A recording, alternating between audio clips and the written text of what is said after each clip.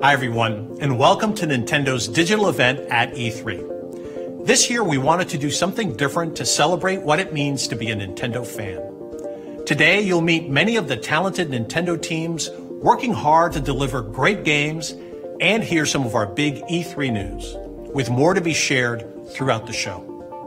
While I've changed out of my Fireflower suit for now, Mario is still close to my heart.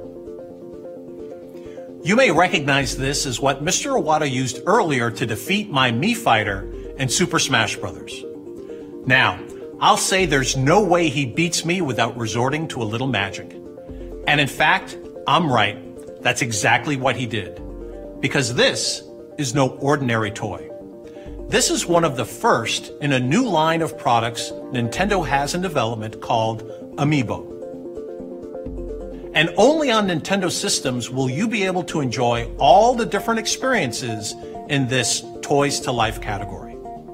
Along with Amiibo, both Disney Infinity and Skylanders Trap Team have unique features and functionality that can only be found on Wii U. There's a special chip that's embedded in every figure. Any Wii U system will recognize the figures by touching them on the Wii U gamepad.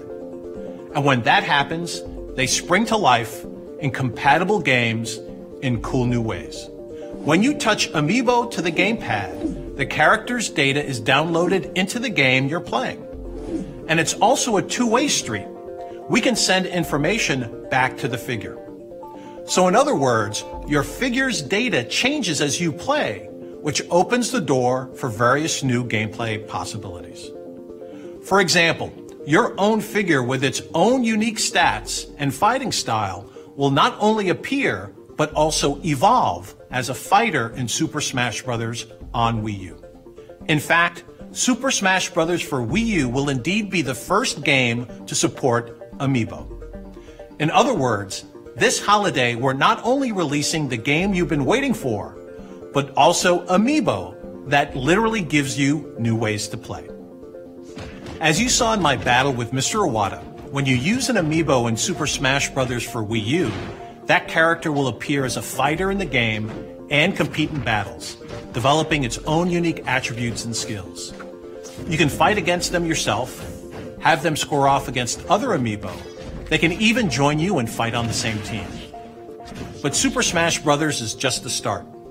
Amiibo Play is also being prepared right now for a number of other Nintendo games. One of those is a game many of you are already playing, Mario Kart 8. We'll have more details on that and other games soon. I'm guessing you've got a lot of questions, but there's much more to cover in this digital event today. So I'm going to ask you to do this. When we're done here, at any time you can catch Nintendo of America's own Bill Trinen, who's hosting a dedicated Amiibo video that goes into a little more detail. So be sure to find him at nintendo.com or the Nintendo YouTube channel.